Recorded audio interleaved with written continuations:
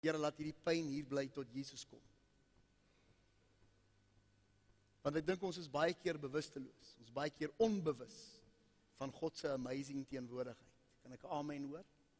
En dis dis ons begeerte. Ons begeerte is om te leef en te bestaan in sy teenwoordigheid en met sy heerlikheid om ons elke oomblik van die dag. Ek en Sari was laas naweek tot ehm um, deur die week uh, in Pretoria waar ons dienste gehou het en ons het uh, geweldig seën daar ontvang en genade ontvang. Dankie vir u wat vir ons gebid het. Uh, die Here het magtiglik homself geopenbaar en ehm um, uit die aard van die saak soek hulle ons nou met 'n seer hart in Pretoria. Maar ons het vir hulle gesê die beste plek in die wêreld is Nelspruit. Hoe kan ons nou Nelspruit verruil vir Pretoria? Ehm um, en vir die van julle wat nou hartseer is daaroor, ek is in elk geval te oud om te skuif. So julle gaan met my sit vir ten minste, ten minste nog 40 jaar. Amen. Maar uh, toe kom ons terug en uh, ek ry in die dorp Saterdagmôre en ek sien in die bos het begin. Want is net karre. En ek dink, wat gaan hier aan? En almal staan, die ouens hang rond soos vinke. Ek dink, ons staan ons by 'n robot nou, sê die speedkop vir ons mag nie meer ry nie. En ewe skielik kom hier 100 motorfietsse verby. En ek dink ek wonder of ons die volgende Saterdag moet reël dat ons gaan sit en na die karre kyk nie. what what's the big deal? Uh sorry vir julle bikers, maar ek ek verstaan nie lekker hoekom ek moet kyk hoe 100 ouens met motorbikes ry nie, maar ehm um, toe dink ek nou ja, Boksburg is ook nou 'n Nelspruit, maar ehm um, Ons is baie bevoorreg vanmôre om Nelspruit van Nelspruit uh marathon klub se uh voornemende comrades drawers hier te hê. Ons gaan later vir hulle bid. Hulle sit daar op 'n knoppie. Al ek dink hulle gaan so hardloop ook om mekaar te beskerm. Maar ons is baie bly dat julle vanmôre saam met ons is en ons vertroue is dat die Here julle sal help met comrades. Dis een resies wat ek nog nooit eers gepoog het om te hardloop nie, want die Bybel sê as 'n dwaas wat hardloop sonder dat iemand hom jaag. So ehm um, ons bid vir julle vir besondere wysheid en genade en mag julle sy vrede vanmôre saam met ons ervaar. 'n Predikant vertel hoe hy by 'n persoon se sterfbed gekom het. En toe hy met die persoon praat, toe is die persoon bang vir die dood. En hy dink toe by homself, dalk is hy maar bang vir die dood as gevolg van die feit dat hy graag langer saam met sy familie wil leef. Dalk is hy bang vir die dood omdat hy soos almal vir ons maar nie graag wil sterf nie. En toe met die man 'n bietjie dieper gesels, toe sê die man vir hom hy was in sy lewe by 45 retreats wat gegaan het oor hoe om die Here te leer ken. En na 45 retreats om met die Here te konnek, ervaar hy vrees om die Here te ontmoet. Ek dink baie mense is maar bang vir die oordeele van God. En baie mense leef met die houding van dalk sal ek dit eendag maak. As ek 'n goeie lewe lei, as ek 'n goeie kerkmens is, dan is ek hopelik oukei okay vir die ewigheid. En ons het so 'n paar weke terug toe ek laas gepreek het gepraat dat Johannes 17 vers 3 wat vir ons 'n opsomming van die ewige lewe gee en daardie opsomming is om die Here te ken. Die ewige lewe bestaan uit kennis van God. En ons het gesê dis nie 'n intellektuele kennis alleen nie. Dis 'n intieme ken, dis 'n ja daar ken, dis 'n huweliksken. Dis soos 'n man en vrou wat mekaar intiem en intens ken. Ek dink ons dilemma en deel van ons belief systems wat ons weghou van 'n verhouding met die Here is dat ons 'n verwronge idee het van hoe kerk lyk of moet lyk. Ons hou vas baie maal aan 'n tempelteologie wat God beperk tot 'n plek. En ek het al baie oor gepraat, maar vir die van u wat dit nog nie gehoor het nie, wil ek net weer sê. Hierdie gebou is nie die kerk nie. Hierdie is net 'n gebou. Ons is die kerk omdat die Here in ons kom woon. Kan ek 'n amen hoor? So oral waar God se kinders beweeg, daar beweeg kerk. Ons bid nie en vra vir die Here, Here, wag ons in by die kerk nie, want God kom saam met ons as kerk na hierdie byeenkoms om as kerk hom te kom celebrate en te kom vier. Die tempelteologie wat ons het spruit voort uit die Ou Testamentiese gedagte dat God in 'n tabernakel was waar hy hom net geopenbaar het in die allerheiligste. Maar ouens, dit was nie van die begin af God se plan nie. God se plan van die begin was intimiteit met mense. Verhouding met mense. Dit was God se Genesis droom. Selfs na die sondeval was dit God se droom om met Abraham 'n pad te stap. En die Bybel sê Abraham is vriend van God genoem.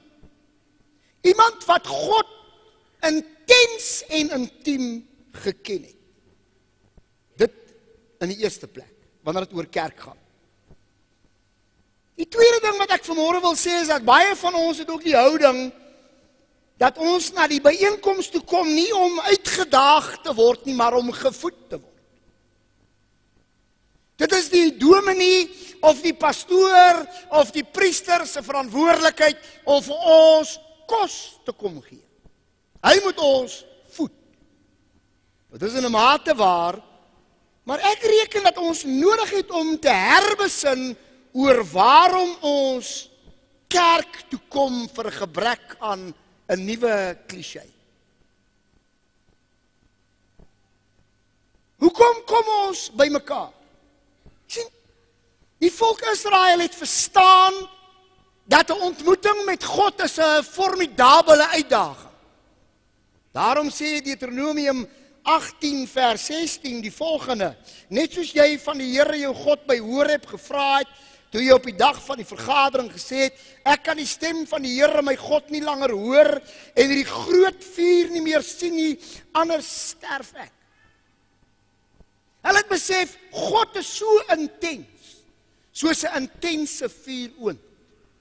God is so geweldig dat dit 'n uitdaging is. It's a challenge to enter into the presence of God.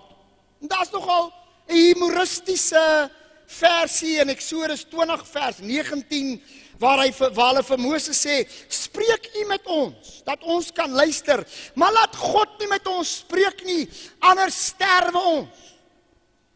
Daar was 'n vrees vir die Here daar was 'n bangheid vir God.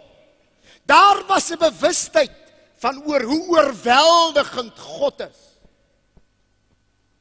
dames en here broers en susters wanneer ons by mekaar kom of wanneer ons in ons stilte tyd ingaan moet ons uitgedaag word met hierdie gedagte ek is hier om met God te ontmoet. Ek is hier omdat ek behoefte het na ontmoeting met die lewende God. Ek wil nie net kom om gevoed te word nie.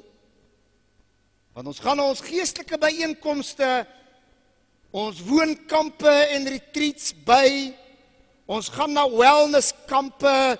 Ons lees inspirerende boeke en kyk na inspirerende DVD's en ons kom weg en ons voel goed sonder die begeerte om geestelik uitgedaag te word, sonder die wete dat dit wat ek nou beleef het is lewensveranderend.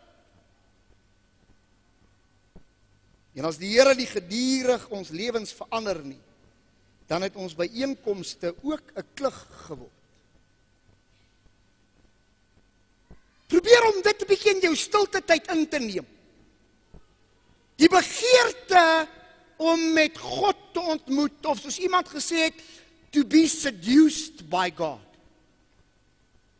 Om daar die Here in sy oë te kyk in my stilte tyd. Nie besig te wees met my eie agendas nie. En ek gaan van volgende Sondagmiddag by ons Communio kampus in ons relevante tyd hier by mekaar gaan ek mense help wat wil en as u wil is u baie welkom gaan ek mense help verskoon om op 'n nuwe reis te gaan van hoe om God te ontmoet en wat om te maak in die teenwoordigheid van die Here. Abraham was seduced by God. Hy was gevra om sy grondgebied te verlaat, sy familie, sy kultuur, alles wat hy geken het. Hy se land beloof wat oorloop van melk en honing, asook 'n nageslag soos die sand van die see. Hy's genooi om met God te wandel in die woestyn. Hy's genooi om 'n nuwe lewe te lei, 'n nuwe ervaring, 'n nuwe experience van God elke oomblik in sy lewe. Dis waaroor kerk eintlik gaan.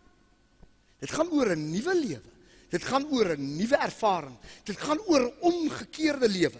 Dit gaan oor 'n lewe waar jy nie meer wil wees soos wat jy was nie, maar waar jy sê nou wandel ek met God. En God het Abraham deur die woestyn gevat. As ons die moed het, sal ons ook deur die woestyn gaan. Die woestyn verteenwoordig 'n plek van reiniging, 'n plek van ware ontmoeting met God, waar ons die naakte waarheid ontdek van wie ons is as beeld van God. En en gelykenis van God met die asem van God in ons daaglikse lewe.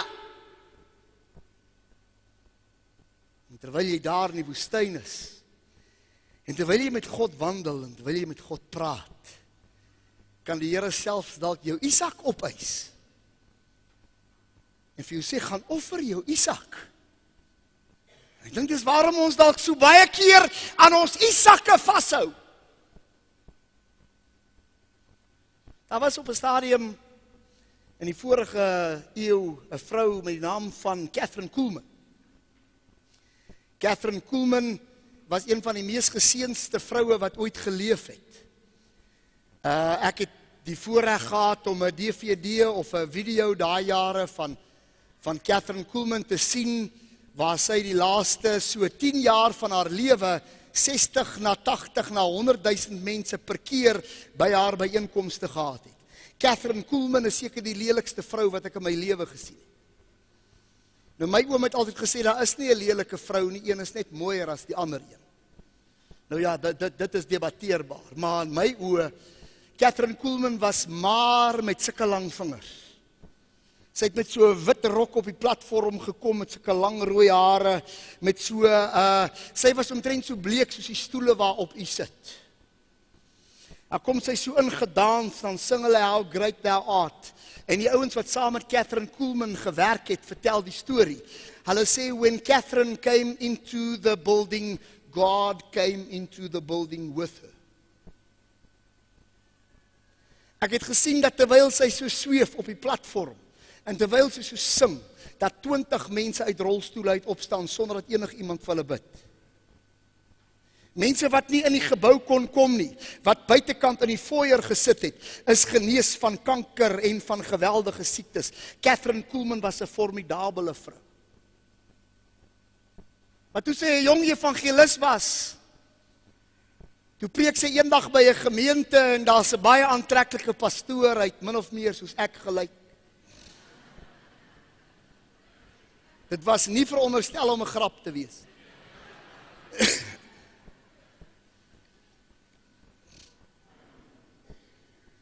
en sy en die pastoor raak verlief op mekaar.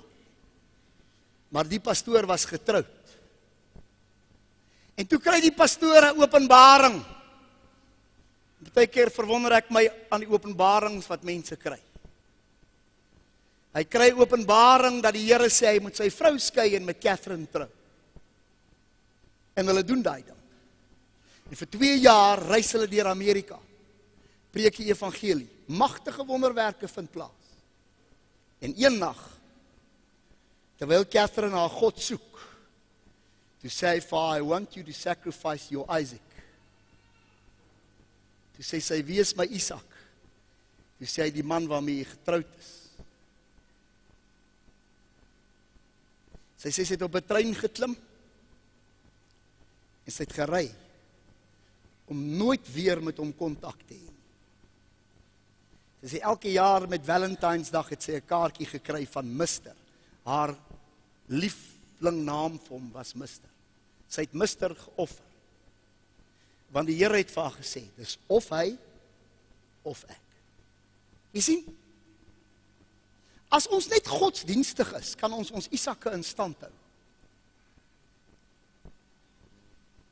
As ons net kom vir 'n weeklikse check-up en 'n weeklikse bordjie kos, dan kan ons eet wat ons wil. Ek eet nie pampoen nie, vir die wat my ooit nooi vir ete. Want my ma het vir my gesê, eet jou pampoen dan krul jou hare. Sê ek bang my hare krul. Wie van julle daai storie van julle ma's afgehoor? Eet jou pampoen dan krul jou. Waar? Broer, jy het nie eens meer hare nie. Jou maat vir jou gelieg, man.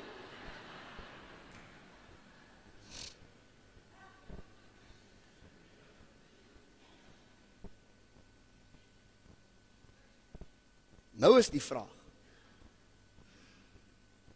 Wil jy God steeds leer ken? Wil jy ook soos Abraham 'n seun wees oral waar jy gaan? Wil jy 'n nuwe wêreld betree met ontsaglike moontlikhede? Of wil jy net Sondag vir Sondag 'n goeie preek hoor en probeer oorleef in 'n onvriendelike wêreld vol van demone en geeste wat jou die hele tyd beroof van 'n lewe van oorvloed?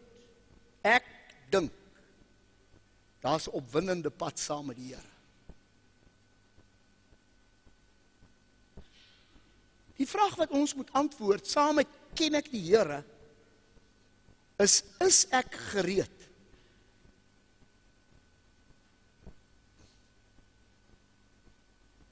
Dink aan hierdie perd wat by die 45 retreats was.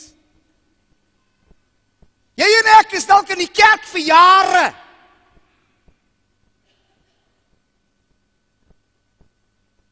Ek preek al vir jare.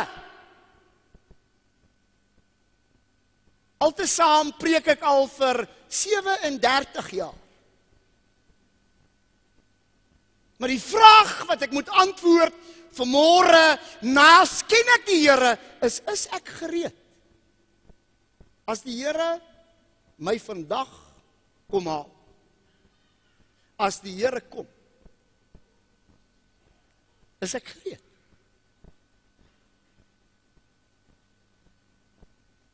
Want hy gaan nie vir my dan vra of ek 'n goeie pastoor was nie.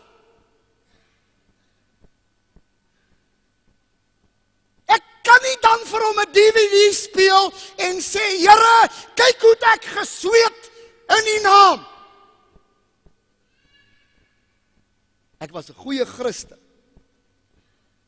Hy gaan nie vra of ons groot en amazing goed gedoen het nie. Hy gaan nie vra of ons op 'n raad of bediening gedien het nie. Hy gaan een vraag vra. Hy gaan vra, "Ken ons mekaar?"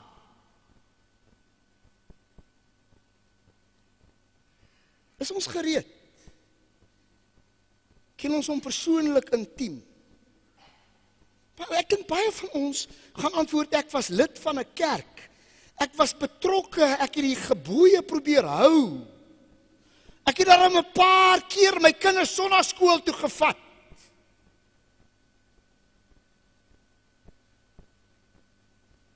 Die donderdagmôre hier in hierdie kerk 'n vroutjie begrawe. Sy het haar man het getrek. Linda Root se skoonsister in Godwana toe laas naweek en sy kry pyn op haar maag. En hulle vat haar hospitaal toe en hulle sê sy het 'n maagseer en hulle bedien haar en behandelaar en sy gaan huis sy's 45 jaar oud. Sy maak kos vir hulle en hulle sit aan tafel en sy sê vir haar familie ek voel sleg. Ek voel ek gaan. Ek wil net vir julle sê totsiens. En sy sterf. Hoe is ek? Ek wil nie bang praat. Maar ons gaan almal doodgaan as die Here vertoef om te kom. En ons kan nie in hy poort instap met die gedagte ek hoop. Ek maak dit nie. Ons moet daar instap met blydskap omdat ons die Here ken. Haleluja omdat hy deel van ons lewe is ek ek ek het nog 'n dilemma rondom kerk en ken. Is Meister Eckhart, een van die groot middeleeuse geeste het geglo dat almal godsdienste nodig het as 'n put. 'n Well om hulle na die rivier van God se liefde en lewe te kan neem. Dis 'n mooi analogie. Putte word gevoed deur riviere wat lewende water voorsien. Pragtige analogie.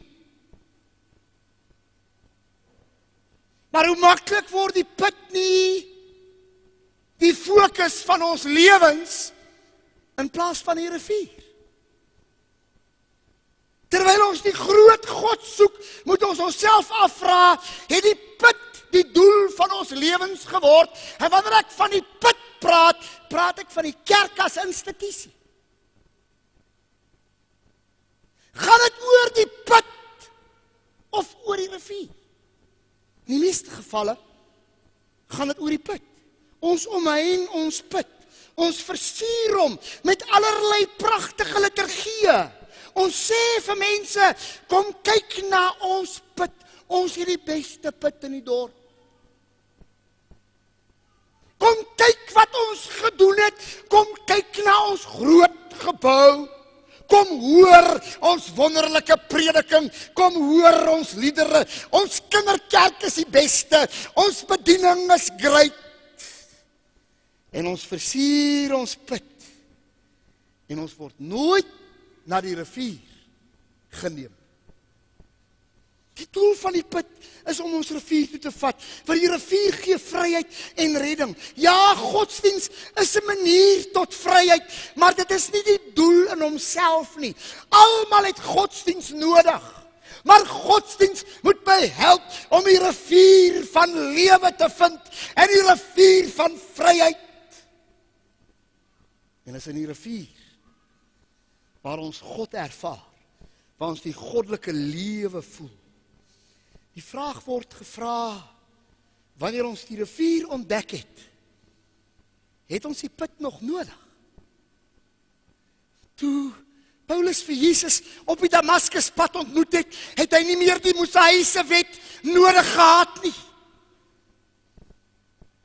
Want hy het Jesus ontdek. Hy het Jesus lewend ontdek. Hy het met hom gepraat. Hy het hom ervaar. Nee, ek dink ons besef nie altyd wat ons no wat ons mis nie. Ons besef nie eers dat ons iets mis nie. Ons is. Okay. Eerder pastoor, moet jy nou die boot vanmôre so skat? Nou gaan ek my baadjie uittrek.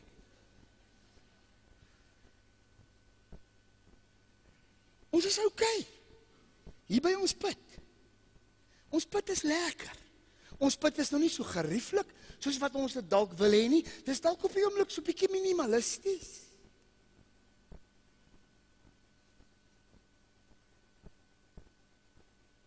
Ons raak in vervoering as ons tot bekering kom.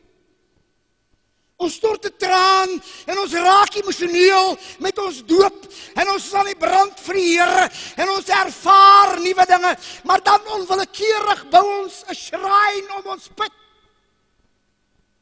En ons begin die put aan.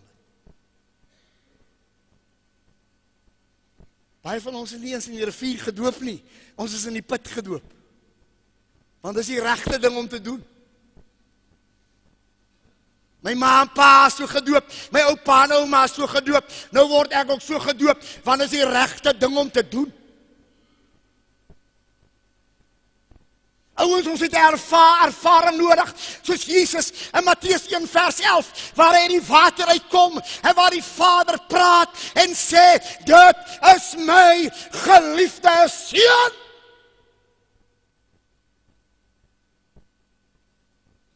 Hierdie hierdie hierdie rivier is dieselfde waarvan Jesus gepraat het met met die Samaritaanse vrou toe hy by die put kom. Daar in Matteus 4 vers 13, luister wat sê hy. Hy sê elkeen wat van hierdie water drink, sal weer dors kry. Praat van die put. En ek dink ek dink dis hoekom ons so dors is. Ons dors word nooit gestil nie. Ons hardloop van put na put om nuwe water te kry.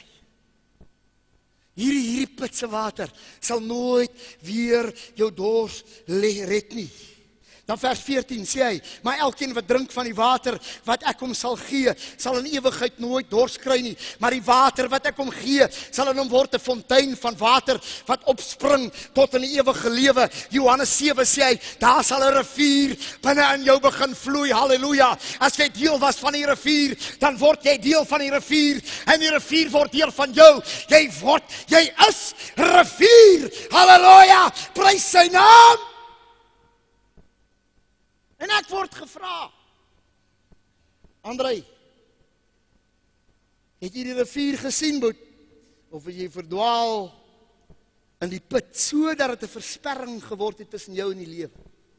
Eers as jy by die rivier was, word kerk sinvol. Eers as jy by die rivier was, word kerk lekker. Eers as jy by die rivier was, dan vloei die vrug outomaties.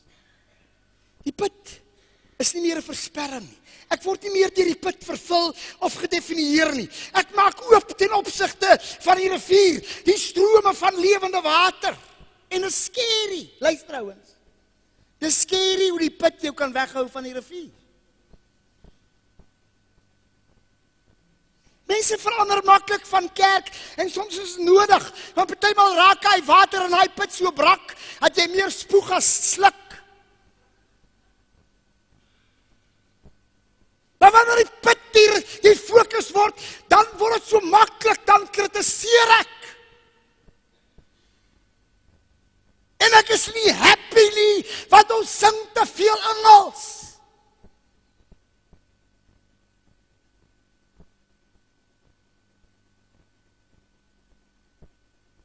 En ons doen nie meer dit wat daai ouens doen nie. En daai ouens doen dit en daai ouens doen dat en ons hol van put na put.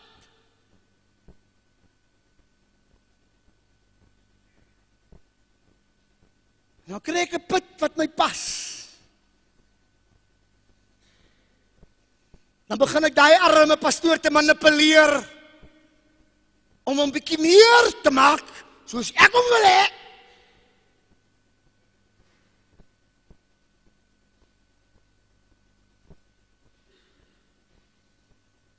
En ek vergelyk putte. En in die meantime verloor ek die rivier. Godsdiens word 'n versperring. Ouens, as mense jou na 'n kerk toe nooi en sê jy moet kom luister na 'n dinamiese pastoor, bly weg. As ouens vir jou sê Julle moet soontoe want Andrei Meiburg, hy preek die wit waks van jou af. Dan sê ek bly weg.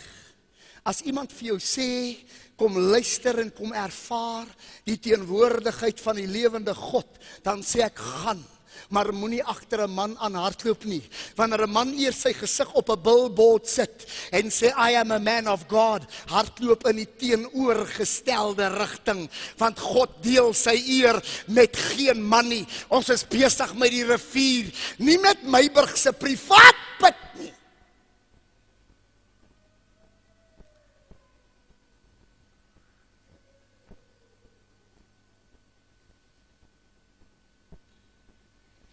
En die gevaar is en ek is self al blootgestel daaraan is dat jy groter word as die rivier. Jou water, my water, my water. Hoe daai ou gesê, vanaand gaan ons braai. My water is beter as jou water.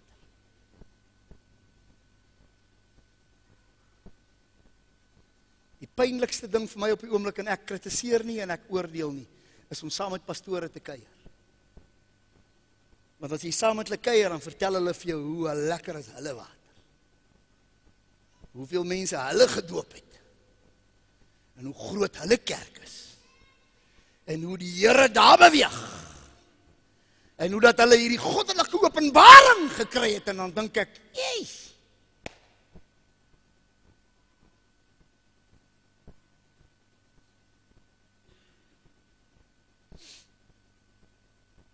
Eendag was daar 'n godsdienstige man wat sy hele lewe lank na die Here gesoek het en op 'n dag toe sê die Here vir hom hy moet op 'n berg klim, hy gaan hom daar ontmoet.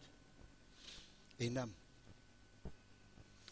hy's opgewonde en hy besluit, okay, um, hy hy moet hom iets vir die Here gee, hy moet daarom 'n offer bring. As hy by die Here uitkom. En en, en hy vat 'n houer, 'n fles. En hy hy hy hy soek goud en silwer en edelgesteentes en toe hy die goed sien, toe dink hy, nee, dis nie goed genoeg vir die Here nie en hy en hy probeer baie en hy dink wel die Here sal verstaan dat hy 'n offer wil bring net om vir hom te wys hoe dankbaar hy is om met God te ontmoet en hy hy pak hierdie ding vol klein mooi klippies. Hy kies hulle een vir een uit en hy hy pak hulle daarin en hy maak sy flesie mooi. En en en dit lyk te pragtig. Hy versier sy flesie. En hy hardloop hy berg op en hy gaan sit bo op die berg en toe daar bo op die berg sit toe toe sit stil en hy sit daar vir 'n dag en vir 'n nag en daar gebeur niks en hy en dan hy raak teleurgestel en hy sê vir homself nou maar maar maar het ek nie dalk was nie dalk net 'n illusie nie? Was dit nie dalk net 'n droom nie? Was dit nie misleiding nie? Ehm um, het die Here my regtig genooi? En hy begin bitterlik te ween. En die Here sê vir hom daar's 'n versperring tussen ons En hy sê wat, Here? Hy sê daai vlees. Jy kan nie my teenwoordigheid verdien nie. Breek die vlees. En toe hy die vlees breek, toe hy 'n ongelooflike ontmoeting met die Here. Ek dink ons het nog steeds hierdie belief system en ons preek nou al teen hierdie heilige koei vir jare. Dat jy iets moet doen om God se teenwoordigheid te verdien. Ouens, God is oral. Daar waar dit vir jou lyk asof jy op jou eensaamste is, daar is die Here. Maar ons moet ontslaa raak van ons vlesse. Ons moet ontslaa raak van ons manier van om in die teenwoordigheid van God te kom. Daar's versperrings. Luister, luister na my. Ek gaan 'n skokkende ding sê. En as die bestuursraad my wil fire na vanmôre dan sit ook. Okay. Ek dink ons houertjie met ons heilige goedjies is 'n groter versperring tussen ons en God as ons sondes. God het nog nooit 'n probleem gehad met 'n sondaar. Jesus het nooit 'n sondaar veroordeel. Nêrens in my Bybel sien ek dat die Here 'n sondaar veroordeel nie. Maar die ouens wat hom 'n pyn gegee het in die linkeroor was die manne met hulle flesse. Wat gesê het my fles is beter as joune. En wat toe Jesus op 'n Sabbatdag iemand gesond maak. Gesê het, "Hey! Jy kan nie die een wees nie want dit pas nie in my put nie." Ek dink ons godsdiens hou ons meer weg van God af as ons sonde.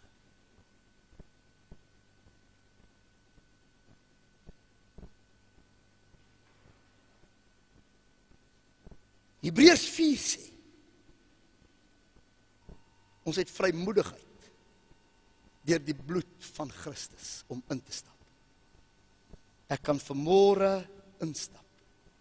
Ek kan môre instap.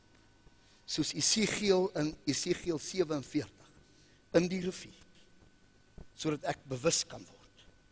Hey, hier's iets nuuts.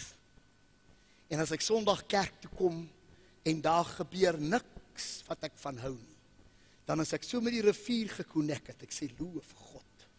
In elk geval loof die Here want hy is my alles. Hy is die een wat my dra.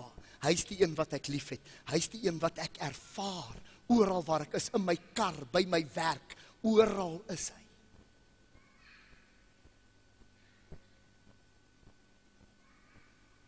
Is dit ek het soveel jare gesukkel om perfek te wees. Jy sê ek het nogal naby gekom, mamma.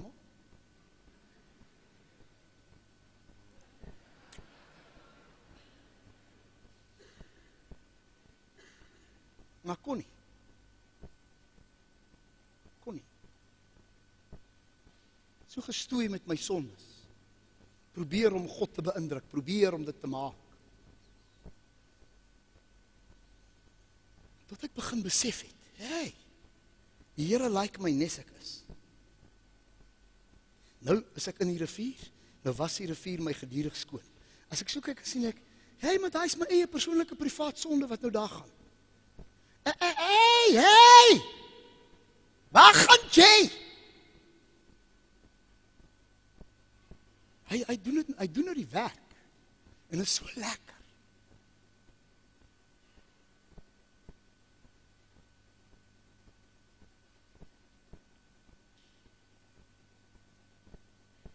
En as jy vanmôre sê Here, help my.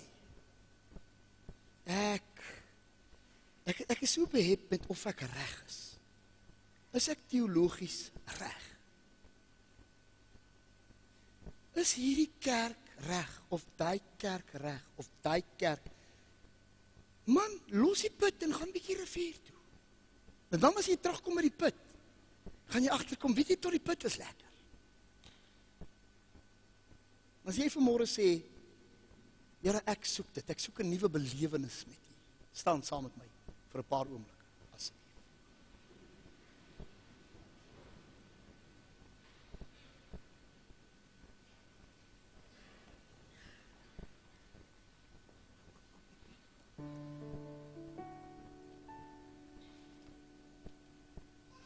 Onthou oor 'n week die 3de Junie 5:00 die middag gaan ek saam met u 'n beginne pad stap